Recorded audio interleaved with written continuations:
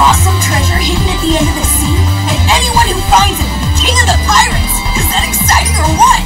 There are incredible adventures out there just waiting for us! Bon voyage!